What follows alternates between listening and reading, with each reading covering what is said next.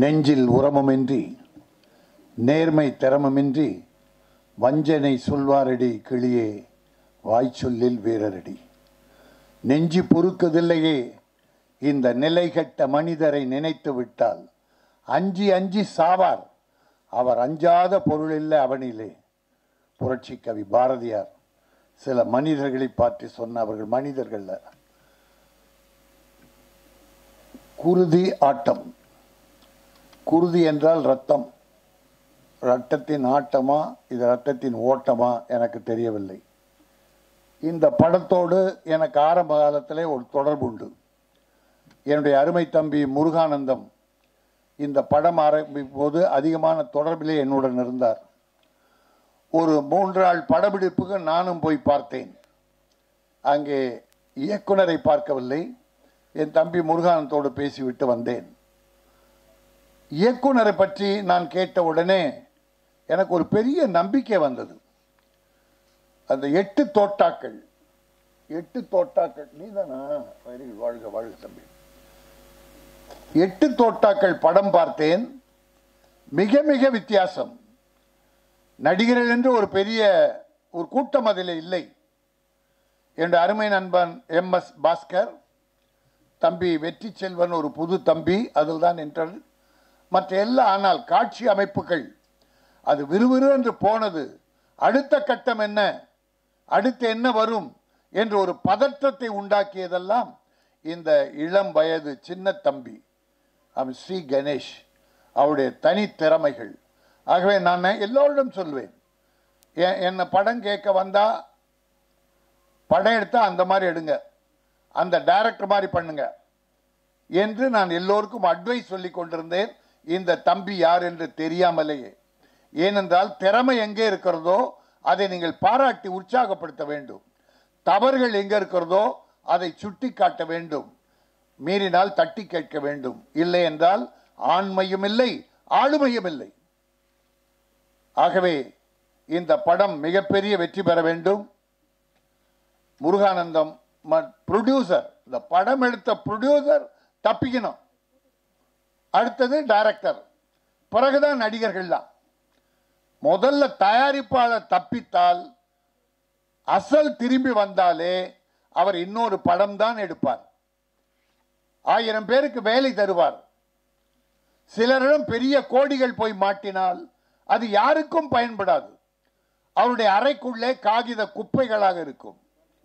ஆகவே இந்த படம் பெரிதாக ஓட வேண்டும்.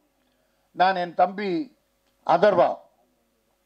அதர்வாவை அவருடைய அப்பா முரளி அழைத்து கொண்டு வந்து என்னிடத்தில் அறிமுகப்படுத்திய காலம் நினைவுக்கு வருகிறது காலில் விழு காலில் விழ.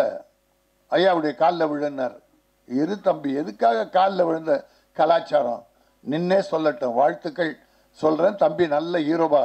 உன்னை விட பெரிய ஹீரோவா வரணும் என்றேன். பிறகு சாய் மீரா ஒரு படம் கொடுத்தது. அந்த படம் எடுக்க முடியாமல் போனது. பிறகு நான் பார்த்த படம் ஈட்டி. என்னுடைய அருமை நண்பர் மைக்கேல் ராயப்பன் தயாரிப்பாளர் அரசு என்கிற ஒரு தம்பி இயக்குனர். பிரமாதமான அற்புதமான படம். மிக மிக எல்லோரும் விரும்பிய ஒரு படம். அதிலே தான் நான் முழுமையாக அதர்வாவுடைய நடிப்பை பார்த்தேன். ஆக ஒரு நல்ல நடிகர் முரளி கொடுத்து அவர் தந்தை முரளி கொடுத்து விட்டு போயிருக்கிறார். வாரிசாக என்று அப்பொழுதே நான் நேரில் அதிகம் சந்திக்க வேண்டிய அவசியம் எனக்கு இல்லை. நான் கொஞ்சம் என்னை விட குறைஞ்சவங்களை தான் நேரில் சந்திப்பேன். மேலே உள்ளவங்களை நான் பார்க்க வேண்டிய அவசியம் எனக்கு இல்லை தேவையில்லை. அவர்களால் எனக்கு ஒன்றும் ஆக வேண்டியதில்லை. என்னால் முடிந்தால் ஏதாவது உதவி செய்வேனே தவிர கொஞ்சம் என்னை விட உயரத்தில் யாருமே வர முடியாது. முடிஞ்ச என்னை விட கம்மியாக தான் உயரத்தில் இருக்கும். மற்ற பண்பு பண்பாடு பணம் இதிலெல்லாம் கொஞ்சம் நான் கொஞ்சம் கூச்சப்பட்டவன். அவ்வளவுதான். ஆக இந்த தம்பி இப்போ ஒரு அஞ்சாறு படம் பண்ணியிருக்காரு. நம்ம தமிழன் அழகன் தமிழ்மணி ஒரு படம் பண்ணியிருக்காரு. இன்னும் ஒரு மூணு நாலு பேர் எல்லாரும் என்னோட தொடர்புடையவர்கள். விநியோக சங்கத்தில் இருக்கவங்க ப்ரொடியூசர் கவுன்சிலில் இருக்கிறவங்க. ஒன்னே ஒன்று தம்பி நீ மிகச்சிறந்த நடிகன். உங்கள் அப்பா விட நல்ல நடிகனாக வருவ. பெருசாக பேர் எடுப்ப. ஆனால் ப்ரொடியூசருக்கு எந்த கஷ்டத்தையும் கொடுத்துறாத. ப்ரொடியூசரை வாட்டி வதைக்கிற யாரும் நல்லா இருக்க மாட்டாங்க. இயக்குனர்கள் சொல்வதை கேள். இயக்குனர் தான் எல்லாம் இயக்குனர் தான் எல்லாம் அவங்களால தான் ஒரு ஹீரோடைய வெற்றியும் தோல்வி அமைகிறது. ப்ரொடியூசருடைய பணம் திரும்பி வருவதும் அதோடு அழிஞ்சு போவதும் அந்த இயக்குனர்கள் தான்.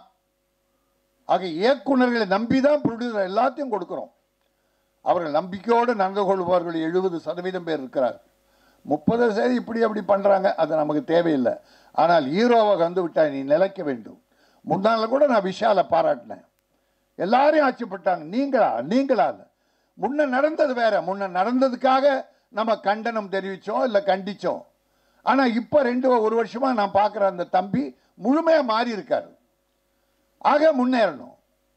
எங்களுக்கு எந்தவித தனிப்பட்ட லாபம் கிடையாது. என் வாழ்நாள்லாம் நாற்பது வருஷமாக இந்த சினிமாவுக்கு நான் தியாகம் பண்ணிகிட்ருக்கேன் பர்மா பசாரில் என் உயிர் வெட்டி இருந்தான்னா அதோட நான் க்ளோஸ் ஹேராம் படத்துக்காக அந்த தயாரிப்பாளர் சொல்லி போனேன் அறிவாளால் வெட்ட வந்தார்கள். பிறகு கேஸ் எம்எல்ஏ போட்டாங்க. இப்போ எனக்கு அதுக்கு சம்மந்தம் ஒரு உதவி அந்த தயாரிப்பாளருங்கிற கமலஹாசனுக்கு அவர் சொல்லி நான் போனேன். ஆனால் கேஸ் இன்ன வரைக்கும் என்கிட்ட இருக்கு. Beach court. பீச் கோர்ட்டில் ரெண்டாயிரத்தி ஒன்றில் ஏராமுக்கு நான் போய் அங்கே கலவரம் பண்ணேன். நாலு லட்சத்தி எண்பதாயிரத்தை நான் கொள்ளடிச்சிட்டு போனேன். நானா? அட பாவி பதினஞ்சு கோடி என் பணம் இருக்குடா சினிமாவில்.